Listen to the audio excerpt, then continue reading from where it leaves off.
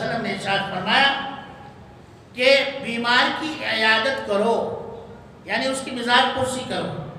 یہ بھی آج ہمارے یہاں سے سنت چھٹ رہی ہے۔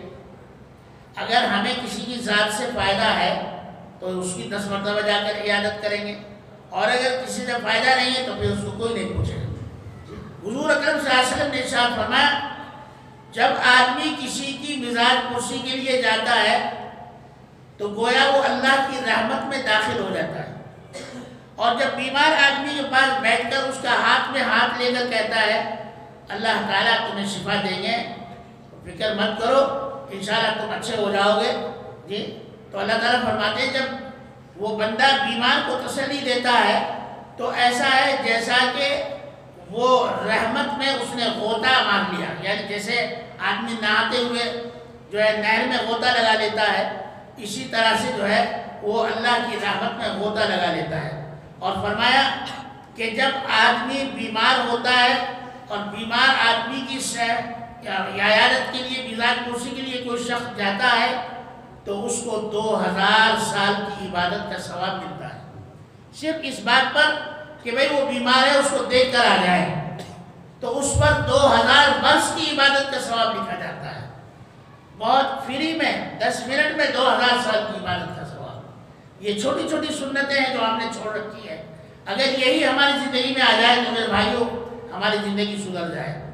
آخر میں ایک بات اور عرض کر دوں کہ حضور اکرم صلی اللہ تعالیٰ علیہ وسلم نے ارشاد فرمایا، جو شخص مریض کی عیادت کرتا ہے، وہ ایسا ہے جیسا کہ اللہ کی راہ میں اس نے ایک دن کا روزہ رکھا۔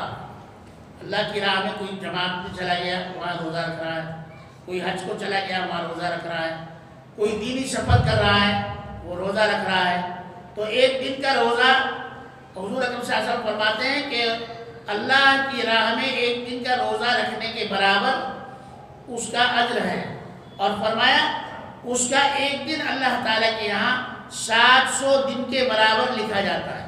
ایک دن اس نے مریض کی عیادت کی مزاج پرسی کی، لیکن سات سو دن کا ثواب اس کے لیے لکھا جاتا ہے۔ دوسری بات ارشاد فرمائی کہ جو شخص کسی کے جنازے میں شریک ہوتا ہے اور چلتا ہے جنازے کے ساتھ، تو اللہ تعالیٰ اس کو ایک روزے کا ثواب عطا فرماتے ہیں۔ اور وہ روزہ بھی اتنا بڑا کہ جتنا سات سو دن کا روزہ ہوتا ہے۔ حضور اکرم صلی اللہ علیہ وسلم نے فرمایا کہنے کو ایک روزہ ہے، لیکن سات سو دن کے روزے کا ثواب اس بندے کو ملتا ہے جو جنازے میں شریک ہو کر قبرستان تک جاتا ہے۔ یہ چھوٹی چھوٹی نعمتیں ہیں اللہ تعالیٰ کی، جن کو آج ہم بھول چکے ہیں۔ اللہ تبارک و تعالیٰ مجھے اور آپ کو اور تمام مسلمانوں کو ان چھوٹی بڑی سنتوں پر عمل کی توفیق نصیب فرمائے۔